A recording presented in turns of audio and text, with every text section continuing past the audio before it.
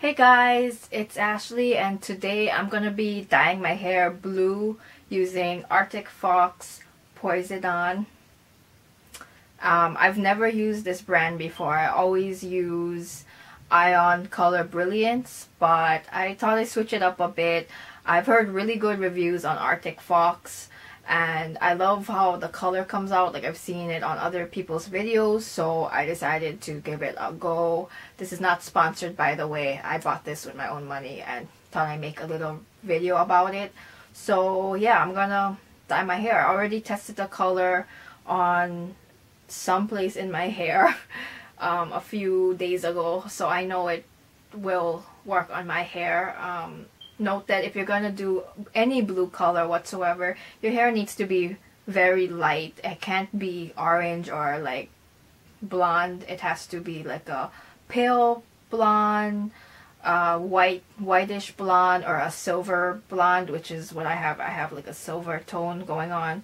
So, um, because if your hair is like bright yellow or orange, it'll turn green. So, let's just get into the video.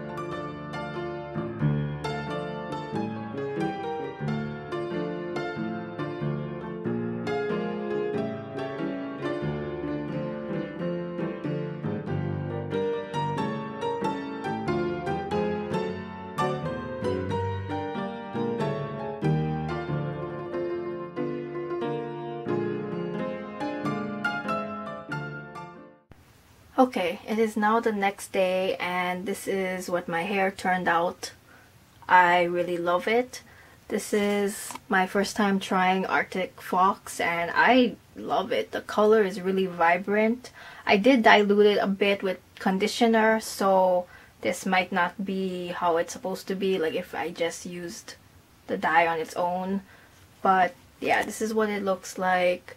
Love it. It made my hair pretty soft because I know, you know, it conditions the hair while you have it in. I only left it in for not even an hour, probably about 45 minutes, and then I rinsed it out with cold water.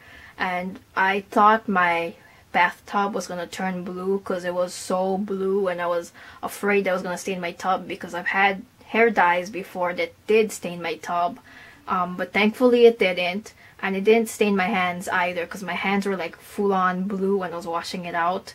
But afterwards it just washed off with soap so it's all good. It didn't stain skin or didn't stain the tub.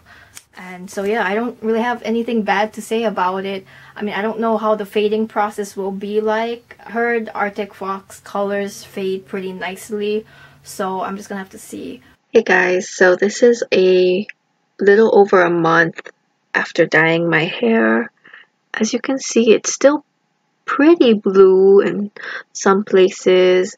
Um, it's more like a silvery blonde with like a turquoise minty color, if you want to say. I'm glad it's not fading to green. That's what I was afraid of. But yeah, it's fading really nicely. I'm probably gonna re-dye my hair really soon because I don't really like it. Like it's looking a little messy with fading.